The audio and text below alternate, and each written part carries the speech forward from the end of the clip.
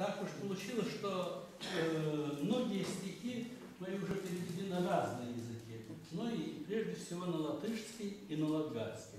Ну, поскольку латгальцев здесь нету, вот, поэтому на латгальском не будем, а вот латышский, я знаю, что есть такая поэтесса латышская Мара Рубина или Мара Целменя, она уже перевела около 40 стихотворений. А у вас э, есть актрисы, и это благодаря моему старшему сыну, он их сагитировал, они подготовили по стихотворению. Кто будет даться первое? Я. И Йоланта. Лудзу. Tauriņš slaidās. Par lauku tauriņš slaidās. Un ziedus apves ar maigu. Un kā viskaistākajās gaidās, es viņam līdzi sapņoju. Man gribējās tev klātu skarties, kaut vai ar acīm noglāstīt, no attāluma tīksmināties un odu brīnišķīgi uzrakstīt.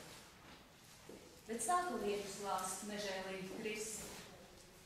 Es sapratu, ka tā var būt. Ka skaistums var būt ļoti ēterisks. Un taurenis par kāju nevar kļūt.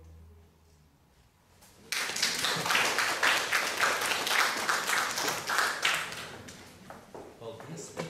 Vēl par. Es neesmu meistars. Man nav margaritas. No tā arī dziesmās es tik skumjš. Tikai afrodītas visapkārt citas. Liek tā sapņot, ka saprāts man tums. Un es viņās kā jauneklīgs, jauneklis burvīgs un visapkārt margarietu pļauju. Es tur vaļājos ļoti skurbīgs, tikai tiesību noraut tās nav. Kad es mostos, nav margaritas. Margarietu pļava it nakti vīst. Mana sirds kļuvusi salauzta, cieta. Afrodītas tur nepalīdz. Jūs par skumjām. Varbūt sirdīs plauks pavasars. Vien par meistaru kļūt man dodiet, lai man Margarita atnākt var. Paldies.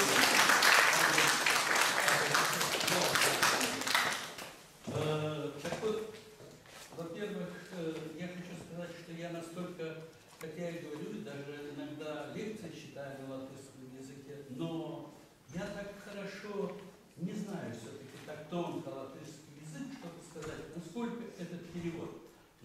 слышал латышей, которые слушали переводы э, Мары